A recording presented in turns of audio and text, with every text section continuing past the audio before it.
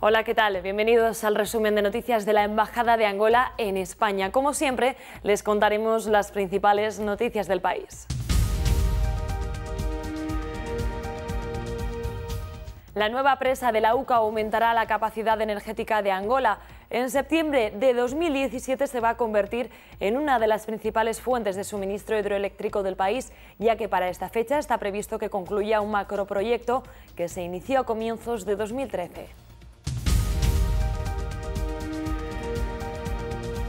Y el Fondo Soberano de Angola ha publicado en Luanda las cuentas auditadas de 2014. El documento elaborado por Deloitte afirma que los activos de rendimiento fijo inversiones con remuneración pagada con intervalos y condiciones preestablecidas rondan los 2,4 mil millones de euros, representando así el 56% de la cartera de inversiones del fondo. El Fondo Monetario Internacional ha revisado a la baja sus estimaciones para el crecimiento de la economía angoleña debido al impacto negativo de la desvalorización de los precios del petróleo. Los crecimientos nada tienen que ver ya con los valores del año 2010.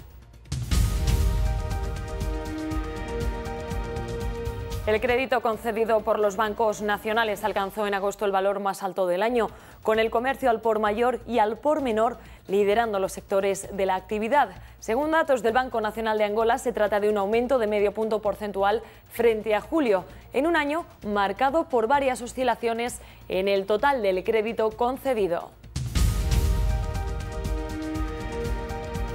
Un nuevo sistema de tráfico rápido de autobuses de Luanda va a operar con más de 240 autobuses, 50 biarticulados y 100 unidades convencionales.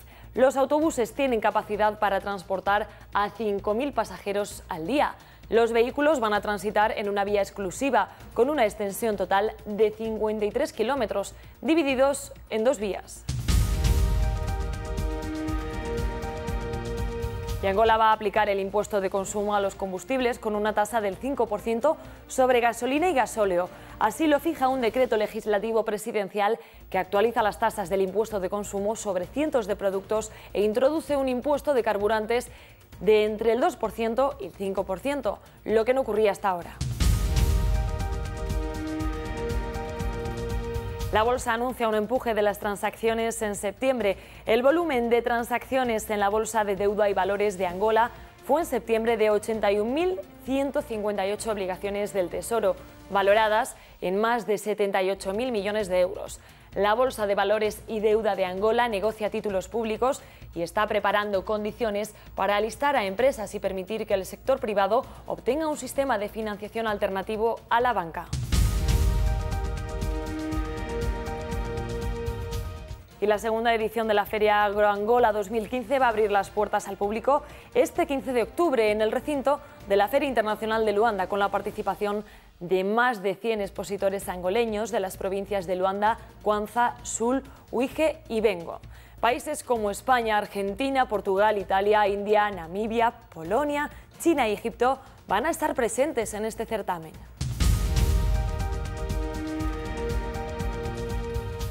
Y seguimos conociendo más de cerca Angola. Patrimonio histórico-cultural nacional La Pedra Lauca, unos 180 kilómetros al sureste de Luanda, capital de Angola, se encuentra en un área que incluye el río Kwanza. Referencia de la presencia del antiguo reino La Pedra Lauca, se reconoce como importante testimonio para el estudio de la historia y de las culturas de los pueblos en esta región. Y hasta aquí nuestro resumen de noticias. Gracias por acompañarnos. Antes de irnos, mencionamos las empresas angoleñas que patrocinan este boletín.